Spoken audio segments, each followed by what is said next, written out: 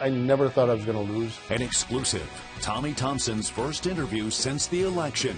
What went wrong? Is your political career over? And his life's new path. This is the real Tommy Thompson. Tonight on WISN 12 News at 10.